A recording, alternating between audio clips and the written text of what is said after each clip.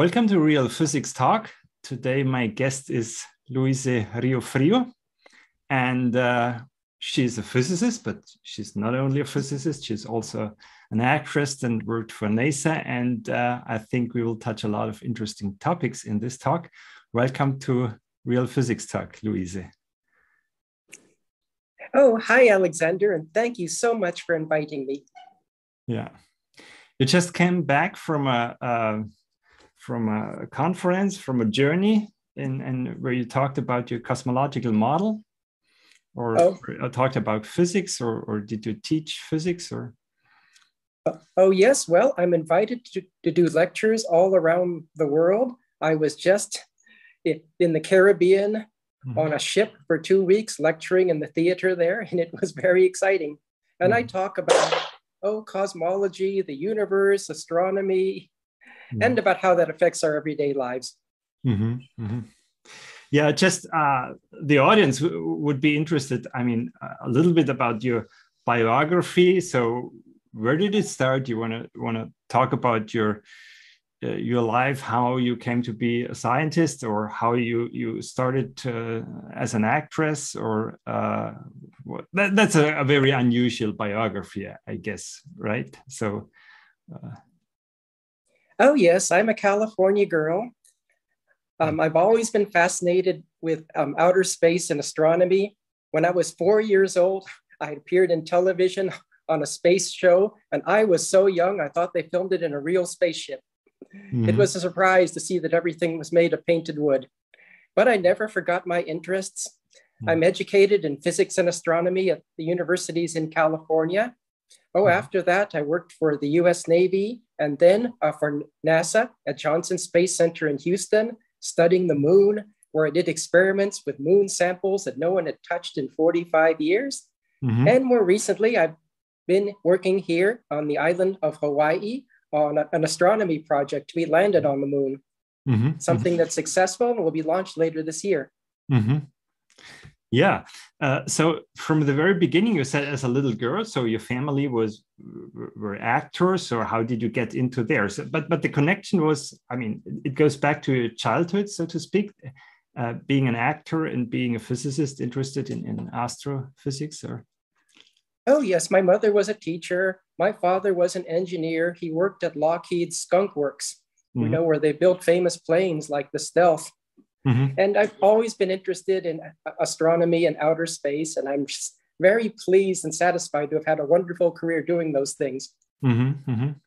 So, but uh, in a way, it was um, uh, you had to make a decision because I mean you had considerable success as an actress. You, you're doing several films, and uh, so um, what, what, what was the plan? You you always felt the need to to be a scientist, or this is, was just a nice hobby, or was it really a decision uh, to take? Well, science is, was a wonderful career, but there were always periods, you know, between work or mm. even in the evenings. Sometimes mm. I would work at at NASA during the day and then go rehearse for plays in the evening. Mm -hmm. There have been periods of my life when I've been between jobs and I've been mm-hmm easily been able to get work on films and television. Mm-hmm, mm-hmm. Uh, if if uh, our audience uh, Google's your name, you you uh, find your name in in films. Uh, there are even, so to speak, spicy topics like uh, I think it was like a film about 50 shades of gray you participated so what was what was behind that or oh i should I should say on stage and television, I've played all sorts of characters. Mm-hmm. And oh, I have played Ladies of the Evening more than once mm-hmm. on stage in a play called No Sex Please We're British, in mm-hmm. another one called Christmas 911. They mm-hmm. thought I had the look for it. So mm-hmm. I have played Shady Ladies more than once. It's a very big stretch. Mm-hmm. No, I think it's interesting in a way because I mean, it, it, it requires a little bit of courage, I think, to to go out there and um, expose yourself in the public. And and uh, courage is something which is, I think, missing a lot in today's scientific environment. In in a way, I mean, we will talk a lot then about your, your physical theories, but you're of course pursuing something which is off mainstream and um, some people would uh, would be very skeptical about these alternatives idea do you think that's that's in your character that that kind of courage not caring too much about other people's views and uh, and just doing what you think is right uh? well people often ask me you know why did i why did I discover evidence the speed of light is changing when no one else did? Why did I dare to think that a black hole could exist in our solar system, even inside the Earth? Mm. And I tell them it's not intelligence or even education, it's character. Mm-hmm. The universities churn out intelligent people every day, but mm-hmm. it requires character, it requires courage, you know, and believing in yourself and what you do. Mm-hmm. I mean, that's why people make breakthroughs, even when working alone. Yeah, yeah. I mean, of course, I, I, I, obviously I do agree, and there is a lot of. Um, it's not just an opinion what you're stating. I mean, there is a lot of historical evidence that actually backs what you're saying. I mean, we can talk about Ignaz Semmelweis, we can talk about Alfred Wegener, and and the real big advances has always um, been achieved by, I mean, solitary lone wolves, so to speak uh, that's that's very characteristic of, of the history of science. So what was the, but uh, I mean, when I was a young scientist, I was interested, of course, in all this uh, stuff. But uh, at a certain point, you notice that, um, wow, there is some something real interesting, something that you might discover, or something other people not not have noticed yet. So as you say, the the variable speed of light. So when did that occur, or in, in what uh, what theory or what uh, what particular observation um, uh, brought you to, to that point? Well, I had a lot of inspirations. Um, Paul Dirac's work, you know, mm -hmm. with his cosmology yeah. and his large numbers hypothesis yeah, was a big that he was willing to think about such things. Mm-hmm, mm-hmm. And all this started with an attempt to link the local conditions of special relativity, which don't allow for gravity, with the large scale curved universe of general mm-hmm. relativity. Mm-hmm. And eventually I came up with some very simple equations mm-hmm. which explain uh, the size of the universe, mm-hmm. you know, how that how that can change relate that to the speed of light even mm-hmm. to things like the Planck mass and the size of the cells in our bodies mm-hmm. mm-hmm. and that and that has been the gift that keeps on giving mm-hmm. you know it also predicts things about black holes that they should be very common in the universe even in the early universe mm-hmm. and mm-hmm. and working in even before i worked and during the time i worked at nasa i was able to access data from the moon from the lunar samples and also from the Lunar Laser Ranging Experiment, which is a mm-hmm. reflector mm-hmm. left on the moon. And in the data, mm-hmm. I found evidence that the speed of light had been mm-hmm. changing, just as you mm-hmm. many times suggested. Yeah. Mm-hmm, mm-hmm.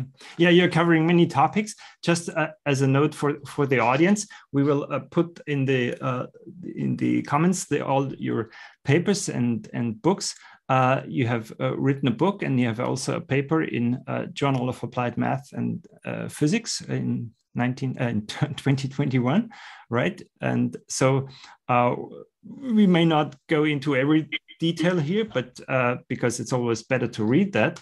But yeah, certainly this is this is very intriguing. I mean, I myself working on that stuff and appreciate Dirac's or large number hypothesis um, but it's it's a very i mean contemporary cosmologists usually don't care about uh, about uh, Dirac's large numbers. So so you were, I mean, you were just looking up that stuff in the library, or how did how did you even get there? I mean, most people, I think, doing an, an astrophysics education in in a contemporary university, they wouldn't even hear about Dirac's large numbers, or why? Oh, yes. I remember exactly where I encountered the work of Paul Dirac. It was mm-hmm. in an article from 1988 in Discover magazine, which mm-hmm. I discovered in a library in Pensacola, Florida. a mm-hmm. place mm-hmm. I worked while working with the US Navy. Mm-hmm. And I still remember finding that magazine, that article, which introduced me to Paul mm-hmm. Dirac and his mm-hmm. cosmology. Mm-hmm. Yeah, so a little bit this was a starting point for uh, where things getting wow, this is really interesting. Yeah. Okay, so um, uh, so you're you're supporting also the hypothesis that the gravitational uh, constant would uh, change over over time. Well, I I, I look at I looked at that so far. I mm -hmm. found no convincing evidence of it, but it's something that we should be willing to consider. If the mm -hmm. speed of light can change, big G, mm -hmm. the gravitational constant, might be changing also, or mm-hmm. it might have or it might have changed in the in the early universe, but then settled down to the value we measure today. Mm-hmm. I keep my eyes open for evidence of that, mm-hmm. so, mm-hmm. and hopefully we'll learn more. Mm-hmm. Mm-hmm. So you you you uh, put forward this um, alternative um, cosmology, and uh, what was the reaction? What uh, I mean, if if you talk about and, and publish, I mean I know it's it's very much off the mainstream. What was the reaction of colleagues and uh, the establishment, so to speak? Well, it wasn't easy, even among the people responsible for my education. Mm. The reaction was initially negative, and because I came up with these things when I was very young, mm-hmm. when I was in college, university in my mid-teens, I mm-hmm. would come up with these things. They'd be initially rejected, Mm-hmm. Just like an actress, I had to, you know, live with the rejection and move on, mm-hmm. knowing mm-hmm. that you get a thick skin so after. yeah. Uh-huh. Mm-hmm. Yeah. I mean, uh, I mean, these we we are talking. Of, I mean, we're talking about a relation between uh, you, you proposing this this formula GM, right? The gravitational constant times the mass of the universe is uh, t, the age of the universe, times uh, c to the third power. You, you can phrase that a little bit differently, uh, introduce the radius of the universe or whatever, or, or put a factor in. But I mean, we are talking about a relation that has been investigated um, by a lot of famous people. I mean, by Erwin Schrödinger, uh, you can trace back even Einstein's thoughts to this. There is a relation, as you mentioned, to Paul Dirac. Um, there is, aside from from the fact that it is a, a relation uh, realization of Mach's principle. No? I mean, Mach could not see that because there was no cosmology at the time, but it somehow reflects the fact that he said that uh, gravity uh, has its origin in the universe. I mean, that's a formula that that contains that Machian thought, right? So, um, you, you, want to confirm that that this is a Machian uh, idea, uh, or? Oh yes, it's very similar to Mach's principle, mm-hmm. Um, mm-hmm. which you know says that you know the, what we perceive as gravitation is related to the, the mm-hmm. mass of the universe, and that's where mm-hmm. Big M comes from. That the universe has a mass, just mm-hmm. like the Earth as a mm-hmm. size and a shape and a mass, we can calculate what it is for the universe. Mm-hmm. And mm-hmm. yes, Mach, Ernst Mach was an enormous inspiration. Oh, yeah. I should say, you know, physicists today tend to, tend to worship Einstein like some sort of idol, but we can go far beyond Einstein, mm-hmm. just which ought to be obvious because I have the advantage of 100 years of learning and observations. So I mm-hmm. can do things that Einstein couldn't, even mm-hmm. surpass his achievements. Yeah, I mean, of course, we have this wealth of fantastic data today, but I think uh, we're not yet doing the best the best out of it. Um, but what I wanted to say before, I mean, uh, regarding this reaction, I mean, given that such famous people and and, and certainly neither Mach nor Einstein nor Dirac were stupid people, I, they all um, dealt with this uh, relation. So, I mean um, have you ever have you ever uh, seen any serious consideration of of these people who rejected your hypothesis? I mean didn't did they even know about that there was um, there was this history behind this Mach's principle? Or on what i mean on what grounds do you do you say oh this is nonsense this is alternative i mean uh, Well, you'll find that scientists or mm-hmm. people who call themselves scientists have many, many prejudices, mm-hmm. not just prejudices against women or women mm-hmm. or people of the wrong skin color, but mm-hmm. um, against something even bigger, against what's inside, against mm-hmm. anything that's different. They will, t- they claim that religion doesn't guide them, but they follow certain things religiously, worship certain figures like idols. Yeah, yeah. With whatever they're studying, be it inflation or string theory. They mm-hmm. follow it with a religious fervor and won't allow mm-hmm. anyone to question it. Mm-hmm. That is how science mm-hmm. has. That's how it worked in the time of Galileo, and people haven't really changed much since then. Mm-hmm. Yeah, you, you're giving me. Uh, um, uh, opportunity. There is a little sideline uh, uh, uh, regarding religious favor, people acting like that. I noticed that you're, I, I, mean, of course, you're let's say a little bit famous you have your wikipedia page but people are now right now trying to delete it? I mean what's what's that? I mean that's very strange isn't it? Or uh, how do you relate that? Or do you think this coming out of the science I, I, guess it's coming out of the scientific uh, corner right? So oh yes yeah.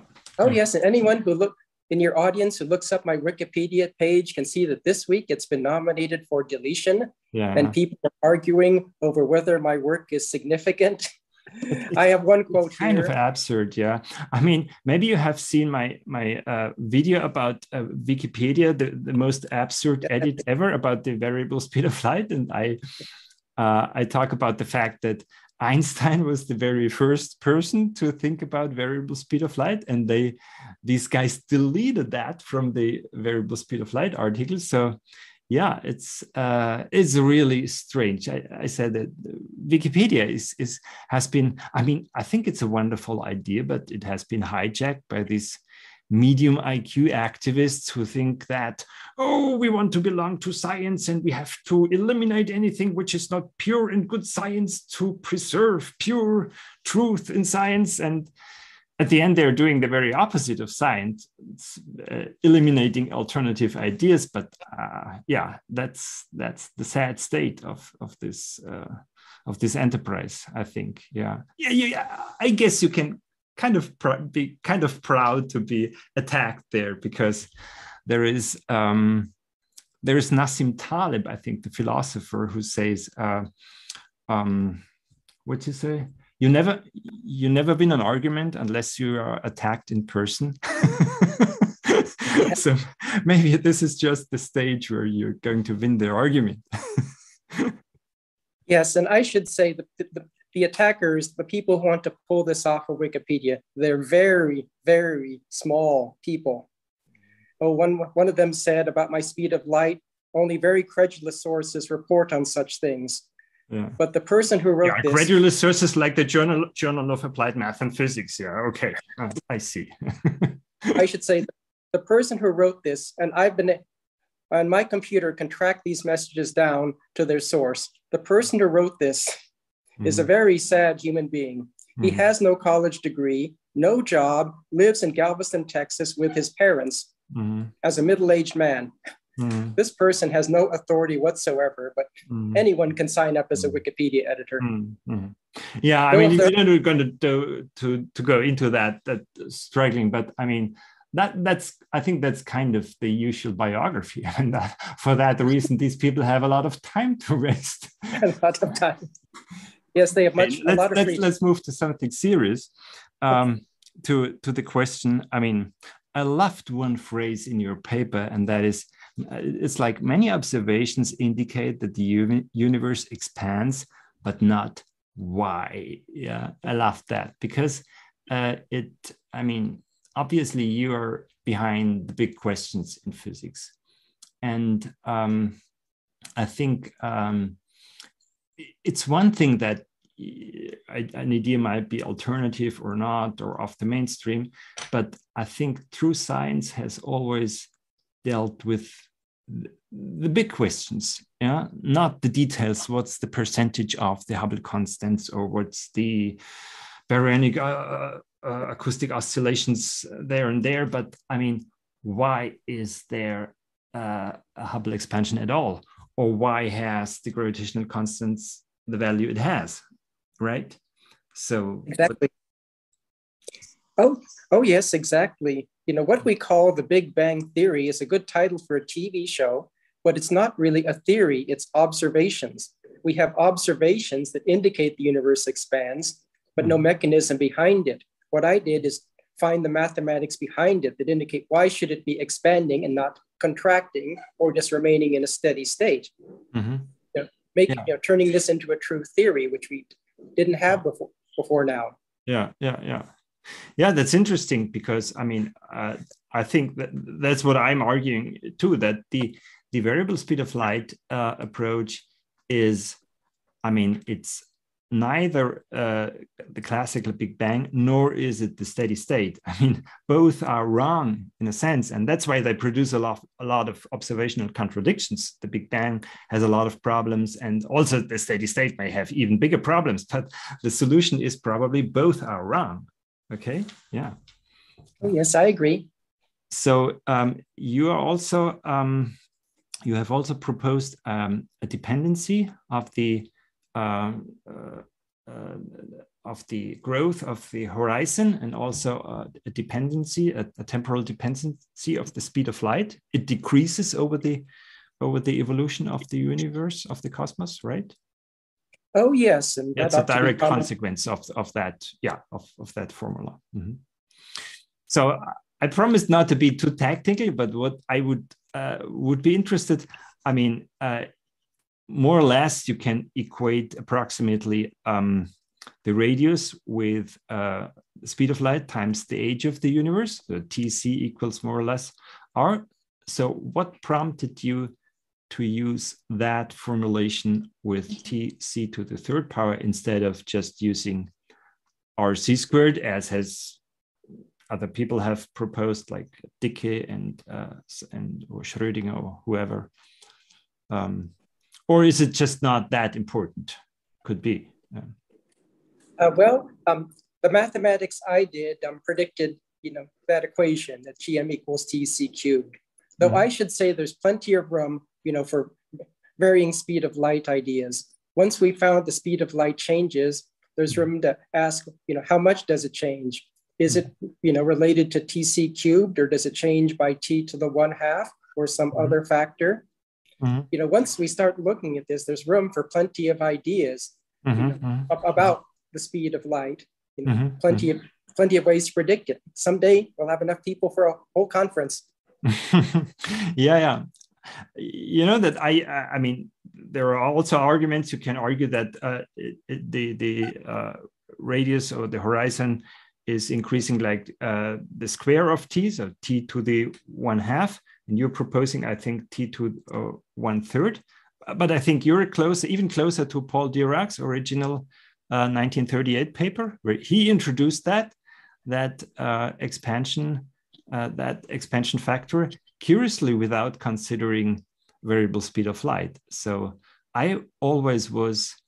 Um, I, I, really uh, was wondering. I mean, Dirac was so close with his hypothesis, ingenious observation, uh, but he was so close to discovering variable speed of light, but he did not explicitly consider it, right? Uh, no, he didn't. Not. He considered other things like g changing, but he never mm -hmm. considered a, a, changing speed of light. Mm -hmm, mm -hmm. Yeah, uh, but it, I mean, it would be fairly fairly logical to to arrive there. I think it's kind of kind of tragic that I mean that Dicke, uh, that Dirac and Dicke, Dicke, who also proposed an alternative model for gravity based on variable speed of light, they didn't talk to each other about that matter. They were just struggling a, a pity argument uh, over a pity argument. Uh, that's kind of that's kind of sad, right? That uh, it, it is sad. Yeah. Mm -hmm. Yeah. Do you think? Um, I mean, in a certain sense, uh, the the uh, we have all that access to information today. I mean, I can I can Google Dirac's large numbers and Schrödinger's paper, and and and so it, it's it's kind of easy to to put things together. Uh, but I mean, people at the time, I mean, Einstein did not know about Dirac's ideas and vice versa because they it was just impossible to to find a scientific paper in all this mess of, of the libraries. So we have we have such fantastic uh, uh, methods available today, but um, sometimes we're not able to connecting the dots. Is is that your impression or? Yes, we live in the best of times and the worst of times. Mm-hmm. In the best of times, you know, we have access to these incredible machines, which mm-hmm. allow us to talk like this on the other side of the world. And we have at, at our fingertips all sorts of information, almost yeah. the entire learning of the world. But mm-hmm. we also live in the time that writers like George Orwell and Aldous Huxley warned us about a mm-hmm. time of totalitarianism when yeah. people would take control of these machines and try to control what we could read or, or what was accepted. And yeah. we see that all the time from Wikipedia to arXiv to Twitter. People try to control what we see. Yeah. Yeah. Yeah, you're right. I mean, we, we could continue to talk about Orwell. I would like that, but uh, yeah, maybe if you if you put stuff on on YouTube, you always has to to cross. Then does it does it contain? I mean, disputed content or something like that? we should stop here. But uh, just to add, yeah, I'm talking with Louise, and she's in Hawaii, and I'm in Munich. So we're 11 hours, uh, and it works. It's incredible. But we're not we're not able to connecting some some simple dots. So tell me a little bit about your your uh, NASA experience and and your uh, that, that was a kind of scientific acti activity not not the theoretical in first place, but very practical, very close to the yeah, interesting stuff to moon uh, moon landings or or the or the rocks from there. Um, tell me about your your uh, your NASA work and, and and and the relations to your scientific ideas there. Well, I was very very fortunate at a younger age to be chosen to work as a scientist in the middle of NASA Johnson Space Center in Houston, a place that I had dreamed about since I was a little girl. Mm-hmm. And it was a dream come true. Mm-hmm. Well, learning about a, a strange so, world. And they, they take you as as what? Did you already have a university degree? Oh, oh yes, I, I mm-hmm. already had education. Mm-hmm. Though, though for a government agency, NASA is pretty good about that. Even if you don't have exactly the degree they want, they will take you in any way and sometimes even pay for you to get another degree. Mm-hmm. You know, mm-hmm. it's a very diverse place. They say it's one of the best US government agencies to work for. Mm-hmm. And I met many people inspired me. Every day I would meet astronauts, women, you know, who had been fighter pilots or scientists mm-hmm. and had enormous achievements and who had been into space. Mm-hmm. And I got to work on very important things, you know, studying the moon for any hazards, um, mm-hmm. you know, doing those experiments with the lunar samples, and mm-hmm. in my spare time, using the moon to test theories of cosmology about mm-hmm. things like the speed of light. It mm-hmm. was a very, very ex- exciting place to work in, and it's mm-hmm. helped in on not just in my research, but even in my film work.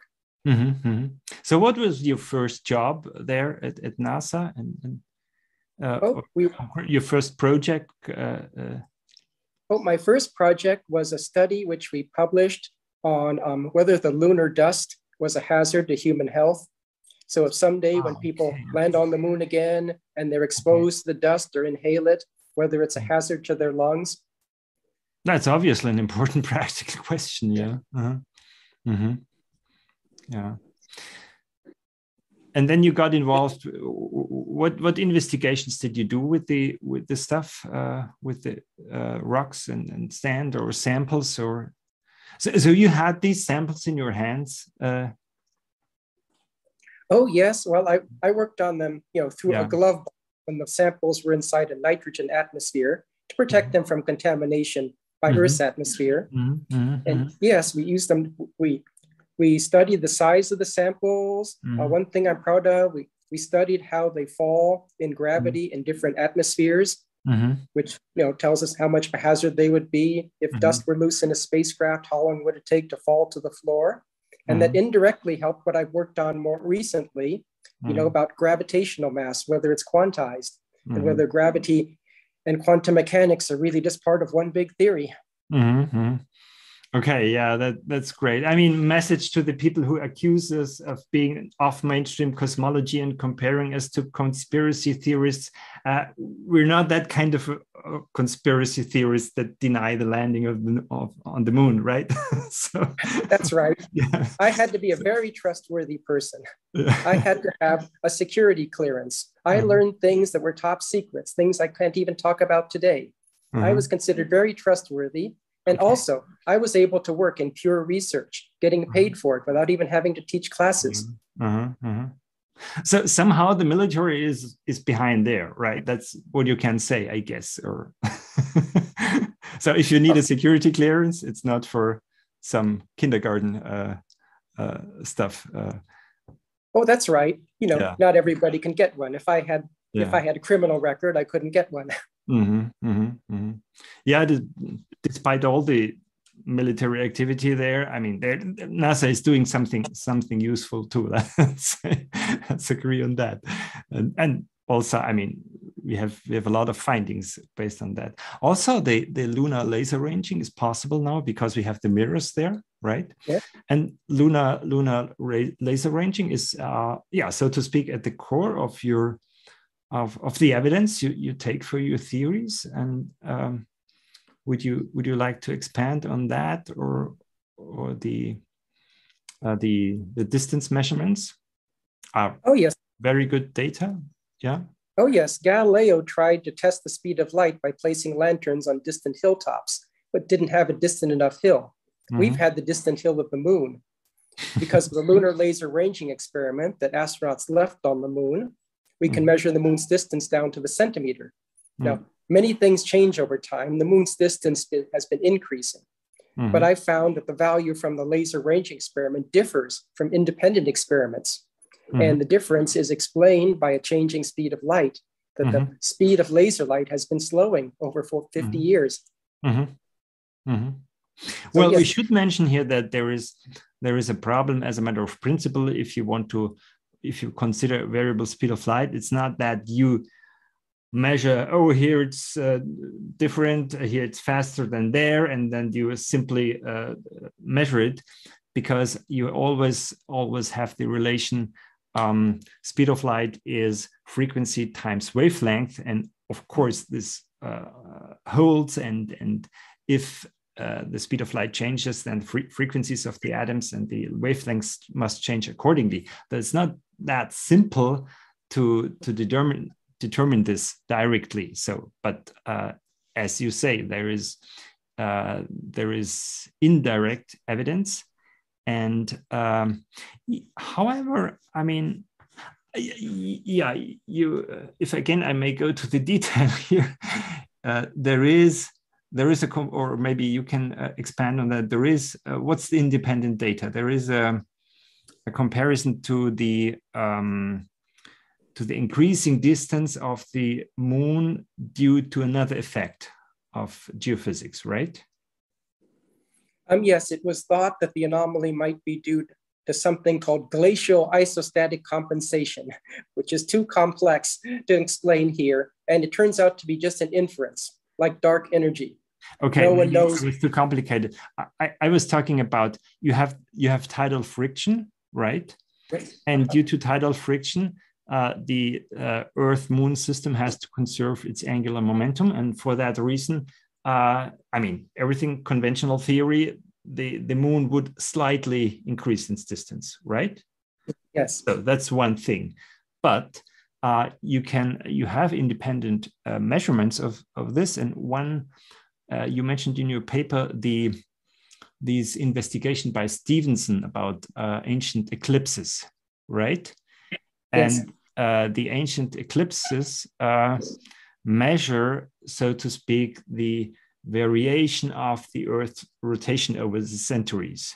That's right. Because uh, clearly, if if the if the uh, Earth rotation would not slow down, we would have had these ecl ancient eclipses not in, say, today's Iraq, but in Spain. Yeah, and That's... we, we, by by comparing these numbers, you, you get a pretty good estimate of the um, of the slowdown of the Earth's rotation, and correspondingly, you can compute the distance uh, of the Moon. But it does not fit. I noticed. I also noticed that it does not quite uh, fit. So, and, and and yeah, one obvious possibility is a changing speed of light. But have have you considered also a changing um, gravitational constant? Because I mean, also a changing gravitational constant would evidently possibly cause um, increasing distance from the in this system, right? Oh yes, I have considered that. In mm. my paper, I say it can be answered by the hypothesis of C changing, but mm. it could also be explained by a changing G.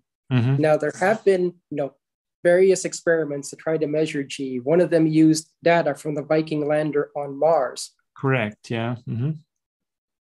yeah. Yes, I know the Viking. Um, um, data and I, I I see I see the, the, the Viking the Viking land I think it's one of the best uh, data we have.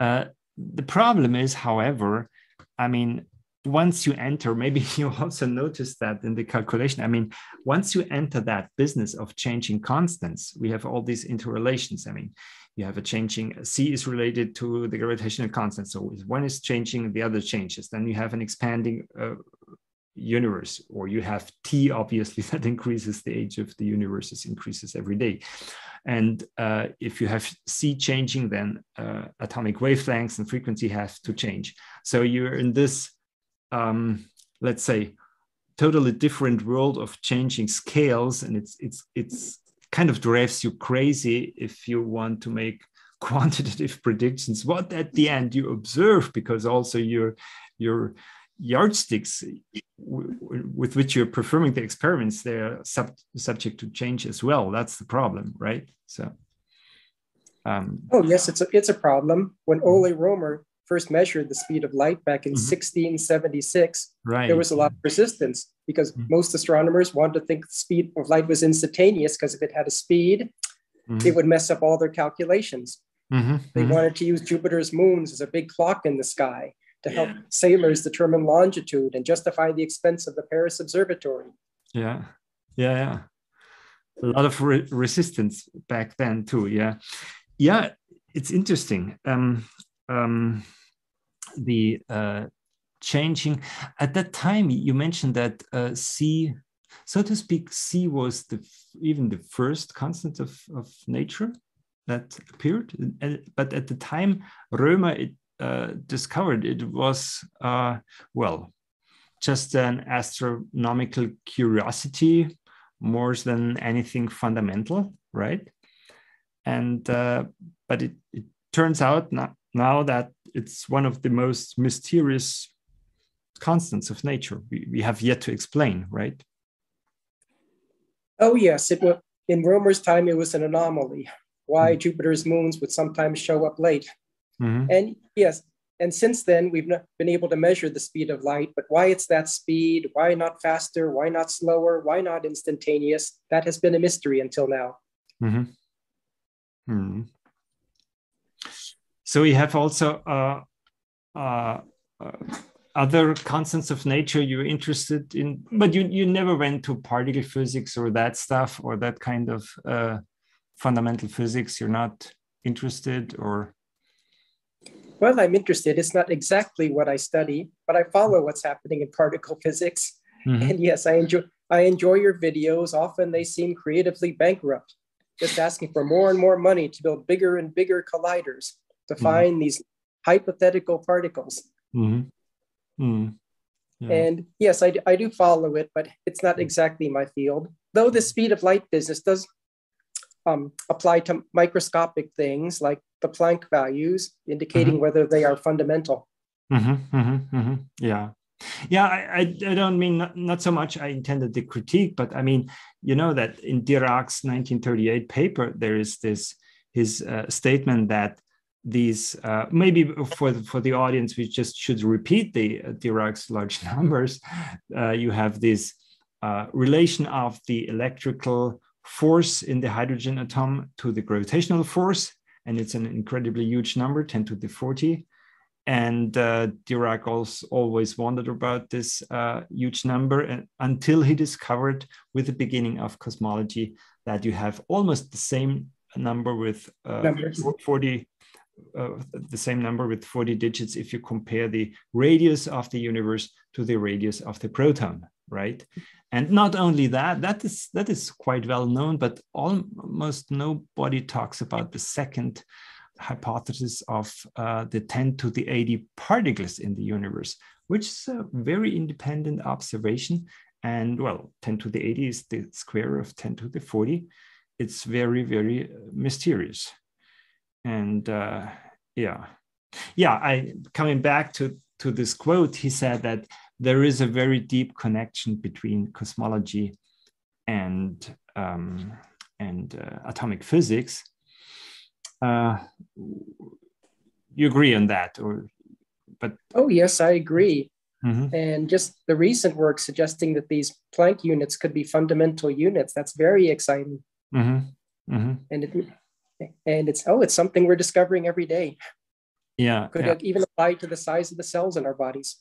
Yeah, yeah, I mean, Planck's units are the, are usually uh, 20 orders of magnitude, so to speak, outside uh, other stuff. I mean, uh, the Planck length is 20 orders of magnitude smaller than the proton. And on the other hand, uh, Planck mass is 20 orders of magnitude more or less heavier than the proton. So um, in this way it relates it relates to the to the uh, Dirac's to Dirac's numbers uh, 40 or 40 digits. Um, so what what do you think? That would be kind of kind of new to me. I mean, could be I could be even skeptical about that claim about uh, about molecules and uh, you want to expand on that? Uh, oh, oh yes and this is a very recent theory mm -hmm. but um, and it it says that uh, that the math predicts that the Planck units are fundamental. Now, the mm-hmm. Planck time and length are too tiny for us to measure, but the Planck mass is about the mass of an eyelash hair or a flea's mm-hmm. egg. It's something we can see. Mm-hmm. Now, lots of things are smaller than Planck's mass, but those things might have an inertial and not gravitational mass. Mm-hmm. Gravitational mass, according to relativity, causes space time to be curved. So, according to this theory, the Planck mass, gravitational mass, is fundamental. And this is a difficult thing to, to explain if we've spent our whole life in Earth's gravity. But mm-hmm. basically, if Galileo were to drop two fleas' eggs from the Leaning Tower, they fall mm-hmm. towards Earth because Earth is big. But mm-hmm. they would not attract each other because individually they're too tiny to cause curvature of space and time. Mm-hmm. Mm-hmm. This would explain many things. You can test it in a simple experiment where you place two tiny masses in a vacuum and see if they attract each other. Mm-hmm. And it also explains why living things are divided into cells of less than Planck's mass. Mm-hmm. If the mm-hmm. cell were bigger than Planck's mass, it would experience self gravity, mm-hmm. which would interfere with its internal functions. Mm-hmm. Mm-hmm. That would explain why our life is divided into cells. Which shows that yeah. study of cosmology can affect our everyday lives and that that's and interesting. that, not necess- not necessarily i agree but what i like is that i mean that's kind of funny from a math methodological point of view. I mean you're proposing something concrete the planck mass what you can actually measure all these string guys uh, with their fantasies. They're focusing on the planck time and planck uh, uh, lengthen, it's guaranteed that nobody ever would measure do a measurement at, at this uh, scale, and and so it's uh, uh, so you you could come up with the, with the question. It would be justified. So why you guys don't talk uh, about the Planck mass instead of all these Planck lengths? It's they kind of escape to the island of falsifiability, non-falsifiability, right? So, but this is this is method. The other thing uh, that comes to my mind is that it's interesting you're distinguishing so you would you would make a difference between gravitational and inertial mass that claim that the equivalence principle is not necessarily valid on on that scales. Yeah. That, that's correct and this that, relates to what you talked about about inertial mass the origins of inertia mm-hmm. which is a fascinating thing for us to explore. You know, what mm-hmm. is the origin of inertia and inertial yeah. mass? If inertia, if it turns out that inertial mass and gravitational mass are not always equal, that mm-hmm. would mean even revising Newton's theory of gravity. Mm-hmm. Yeah, I mean, I think I think that that's that's part of the problem. If you uh, if you consider the variable speed of light and if you uh, consider all these Machian ideas in general, you're not only attacking Einstein, you're also attacking Newton, and that's too much for uh, for many people. So, but if you if you seriously wonder about the origin of, of the gravitational constant, you arrive there. Yeah. I just wanted to mention that also. Have you heard of Mike McCulloch? He is also uh, a theory of quantum inertia, and he does, does also distinguish between inertial and gravitational mass and claims that there is a cosmological influence on a, a cosmological modification uh, that distinguishes inertial from, from gravitational mass. Yeah. I've heard of that work. I've not studied it in detail. It sounds like something I should read more yeah, about. Yeah, I will send you, send you the link. Um, um, another thing that comes to my mind, maybe for that reason, I should be skeptical. We have to check if there are experiments, recent experiments involving the measurement of big G on the atomic level. I think there are some atomic beam experiments who at least try to measure the gravitational, but I have to look it up. Yeah, I've done a review time ago about uh, big G measurements, but and most of most of them they work with the classic torsion balance, and for sure they they, they don't arrive at that level of of uh, small masses. That's a very general problem.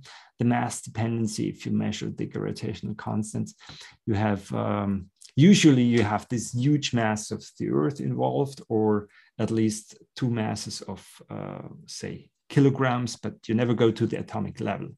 And, and, and it's not a continuous, um, it's not a continuous uh, set of experiments, but either you have one kilogram or you have, say, the ice cap of Greenland would be the next stage, and then you have the entire Earth. But it's not uh, so. There might be some some unexpected dependencies. Yeah, for me, it's the gravitational constant is, is very mysterious still. Yeah. Very oh yes, what a wonderful thing to investigate. You know, you can mm-hmm. think of many experiments and theories we can do about the gravitational constant, whether it has changed over time. Mm-hmm. Mm-hmm.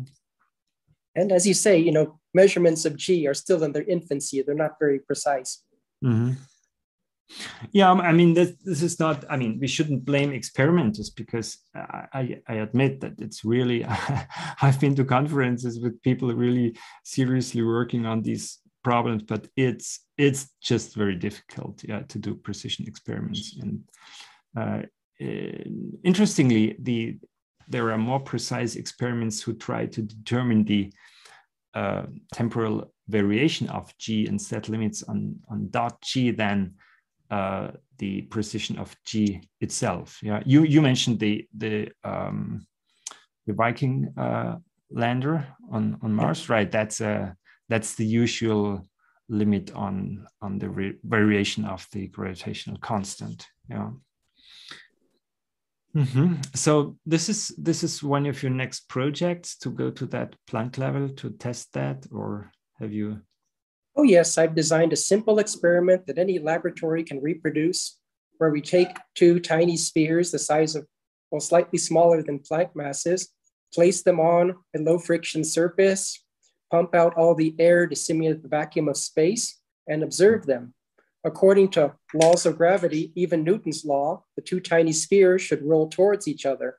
Mm. But in many trials, we haven't seen any sign of gravitational attraction between them. Mm we put in larger. I criticize you a little bit because I mean you're a little bit the theorist here. It's very simple, very tiny, but I mean, take two tiny masses, and you said smaller than the Planck mass, and I mean, there's, yeah, if you have these several kilograms, I don't know what you're talking of, of milligrams or nanograms in that case, but uh, I mean, it's very, very, very small the force right? And then if you you have to go to close distances you, you get a bunch of problems with vacuum and and uh, getting out any electric effect or, or whatever that I, I don't imagine it's very easy. Yeah. So yes these are i should say these are only preliminary experiments. Mm-hmm. they're designed to be easily reproducible. Mm-hmm. you know to, to do it better we would probably have to go take the experiment into outer space and do it in microgravity mm-hmm. where there'd be less interference mm-hmm. yeah no but i but i definitely agree and the important point you're making is that um, if there is something mysterious in nature, like the um, law of gravitational interaction or, or the uh, Newton's big G, we should cover all possible ranges of, of experiments, measure it at all distances, not only the torsion balance, but go to go to larger distances, go to uh, to, to stellar distances to, to, well i mean newton's law doesn't work at the, at the galaxy scale. We know that they, they postulate dark matter because newton's law doesn't work and, and even worse.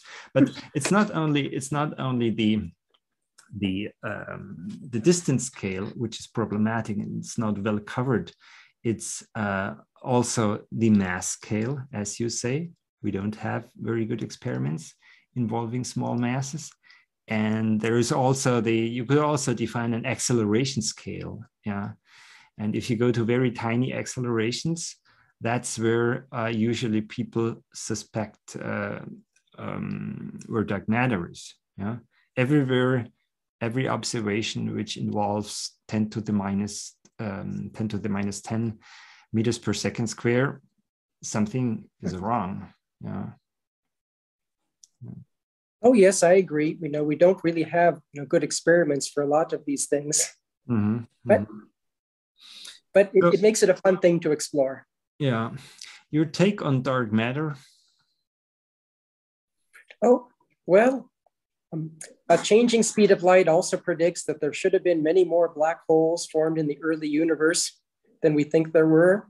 That black holes could have been formed at enormous sizes, you know, forming the, co- the cores of the first stars and galaxies.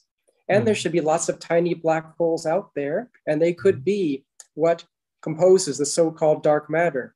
Now, particle mm physicists have been resistant to the idea of black holes because they they study their little fundamental imaginary particles. They would like to think their little particles are dark matter. Mm-hmm, mm-hmm, mm-hmm. but yeah. I I can model it just by saying there's a large population of black holes holding the galaxy together. Since those haven't been observed, there's still room for other ideas like modifications of gravity. Mm-hmm, mm-hmm. Well, I shall be a little bit skeptical about the issue of, of black holes because, I mean, let's say if once until we haven't understood very well the gravitational constant, um, the entire idea of, of, of black holes is very related also I think to the constancy or or to the to the conventional ideas. So and I guess also, I mean, I mean Dirac's maybe this is too detailed, but Dirac's hypothesis in a way maybe also phrased um, saying that the the density of a nucleus of an atomic nucleus is something uh, significant in nature and I guess not coincidentally, the um, density of a nucleus is the highest density we have observed so far in the universe, which is at the same time uh, pulsars and neutron stars, or uh, also stellar black holes, more or less. But if you go to small black holes with small masses, you would would arrive at even uh, even higher densities. And I'm not sure we have, uh, yeah, I mean, every idea is fine, but I could also be that these are not just not realized. You know? Yes, that is possible too. And I hold open that possibility. Mm-hmm. Yeah. But uh, yeah, another, dark, you're against dark stuff in the universe. oh yeah, dark to which I fully agree. I'm against the dark stuff too. I wonder when they will start postulating dark substance. Okay, every 20 years in dark matter, dark energy, and dark substance and dark dark physics. Um, but uh, you have uh, your I should say that your paper is about explaining dark energy by variable speed of light. and I'm very in favor of that explanation. I, I think that's the solution. If I mean, it has turned out that the evidence is much uh, much weaker than it was believed, but uh, there is definitely an anomaly in the expansion of the universe, something that does not work.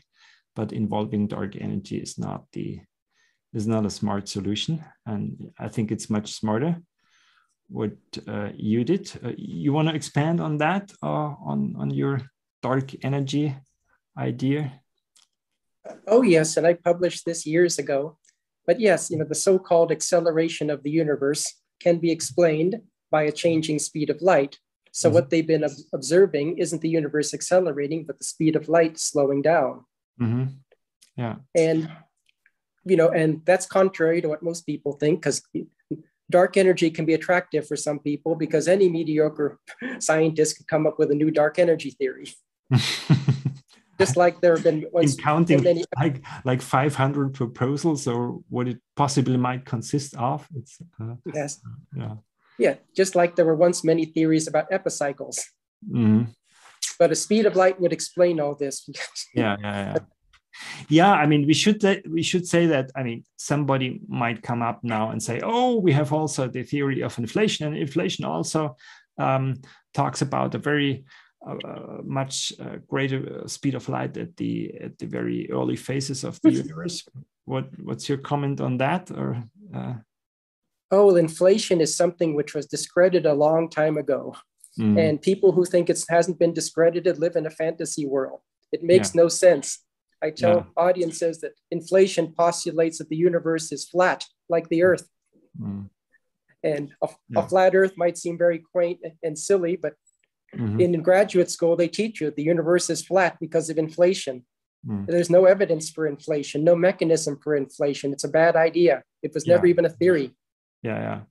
Yeah, well, I, I was just glad to hear that because you may I, I have mocked inflation theory at many instances, and uh, even Roger Penrose mocks it a lot. I mean, he's the British gentleman. He was very distinguished. I, sh- I shall I shall say that the before going into that that I have serious doubts about the very foundations of that because it contradicts this and that. And uh, just say it's BS.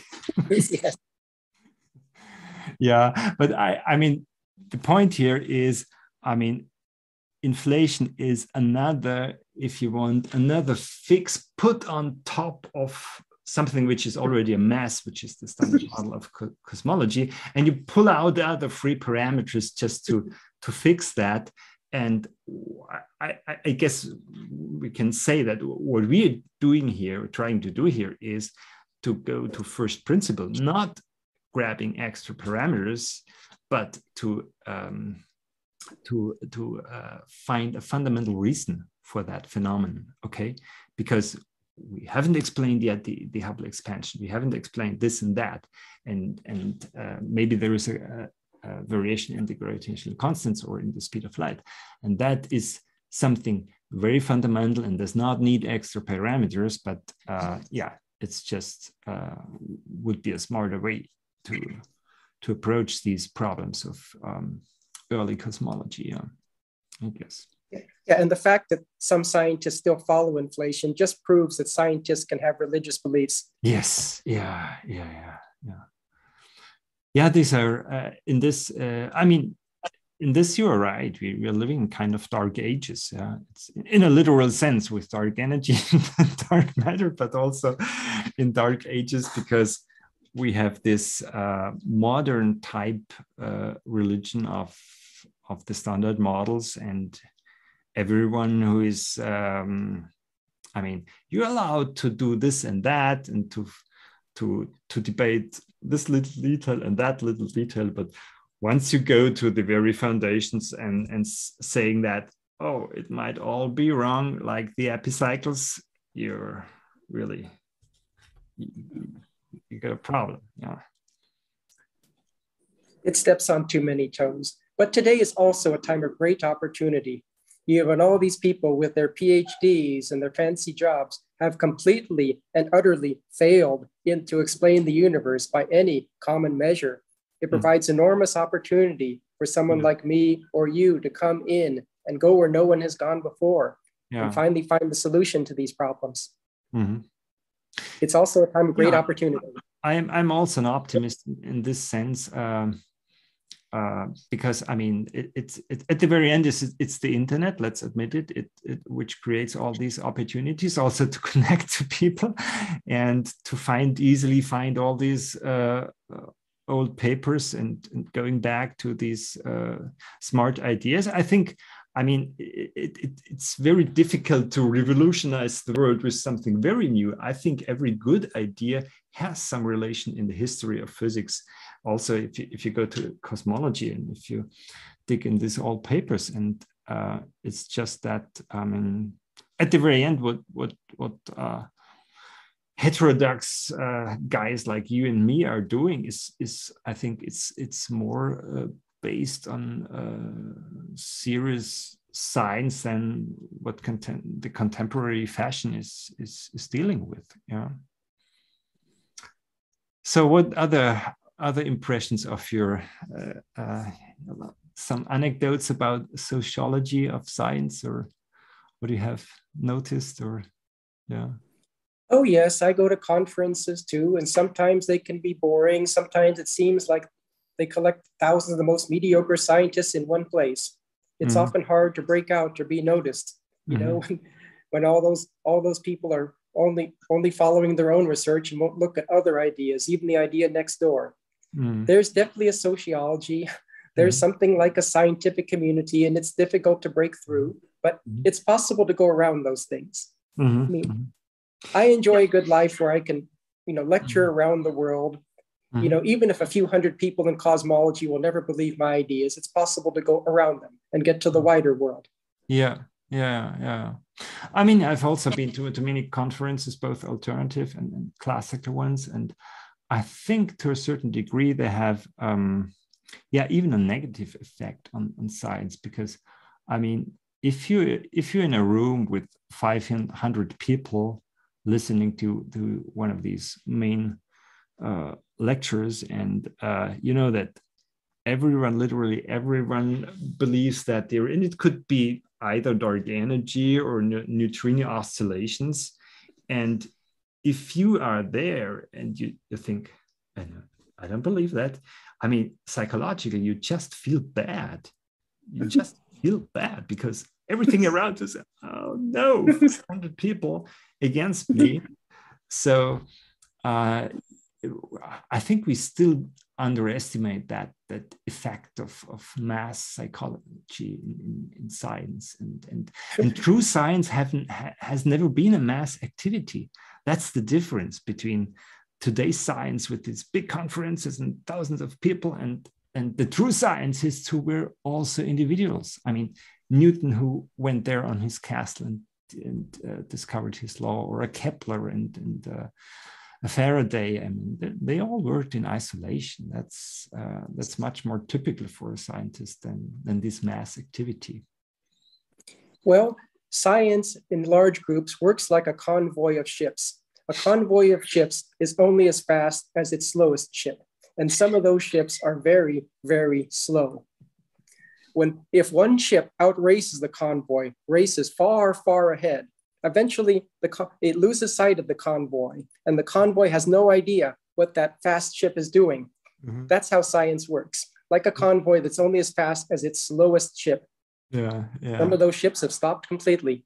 well, yeah, sometimes they wiggle around. Yeah, you know, you know Thomas Gold, no? Thomas of course, Gold. yes. And he he compared he he did the, did the comparison to ships, but he made it to to uh, a herd of sheep, right? Or was it goose or some of the leading goose? And then then, then one animal is outside the herd, and, and and then suddenly the flock turns around and it finds itself in another place. And uh, no, I haven't moved. No, the flock has moved. yeah. Mm-hmm. Or physicists, it's more like lemmings being stampeded off a cliff. Mm. Yeah, that's what Lee Smolin's how he describes uh, the the supersymmetry guys. Yeah. Yeah, there is a lot of strange things in uh, in science going on today. I've been complaining a lot sometimes about, but we shouldn't. We should be optimists like you then and take the opportunities. I I agree with that. Yeah. So yeah, that would be a good idea for the end. Being optimists, uh, looking forward to new discoveries of open-minded people. Do you have anything to add? Anything? anything I missed? Anything important I should mention? Oh, uh, oh, a few things I'd mention. But one book you might not know about is a textbook, which looks like this mm-hmm. um, New Trends in Physical Science Research. Okay, so you send me the link and I will put it also in the comment section. Uh-huh. oh, yes, it includes a chapter written by me about mm-hmm. the speed of light. So, a changing speed of light has reached a textbook. Uh, great. Yeah, yeah. I mean, okay. But you have also, I will present also your, your book and also your papers, but that's that's good material. Yeah. Variable speed okay. of light. Sooner or later it will prevail. Yeah, I guess. Yeah. Oh, oh, and one more thing I could add. Someone complained that my uh, film roles aren't big enough. but I am working but I am working on a big film or I will be the lead. They've been looking for a long time for something which fits my character and background. Mm-hmm. But it, it's a big budget science fiction film about mm-hmm. the first woman, the first human to go to Mars solo. Mm-hmm. mm-hmm. And it's based entirely upon technology and science we know. A mm-hmm. solo mission to Mars mm-hmm. to be the first one to make it to another planet. Oh, mm-hmm. and it's something we're working on with the special mm-hmm. effects, and it's going to be a spectacular film. And mm-hmm. if it's finished, I'll be in the lead role. Yeah, yeah. That's. I, I think I forgot that you were, were weren't you among the people who were considered for the crew of a space flight, or still in, or, or what about that? Or if, oh yes, for, for a while I was a crew candidate, an astronaut mm-hmm. candidate for a mission called Dear Moon to mm-hmm. travel around the far side of the moon. Mm-hmm. And I haven't made it into the finalists, but that could change. Mm-hmm. I wish them every luck, but they ha- I happen to know they have many, many technical challenges before they can think about sending people around the far side of the moon. Mm-hmm. mm-hmm. I could help them. So let's hope that the distance to the moon doesn't increase unexpectedly very much during that space flight, verifying your theory, but getting you out into space. yeah. Okay. Mm-hmm. Very interesting. So, Louise, thank you very much for this very interesting interview. And uh, I guess our audience has, uh, yeah, very, uh, very good impression of your personality and your scientific activity. And uh, yeah, if uh, I have forgotten something, I will put it into the links and uh, we keep in touch. Thank you very much. Thank you very, very much, Alexander. I hope you've enjoyed it too. Okay. Okay. Thank you. Goodbye. Thank you. Bye.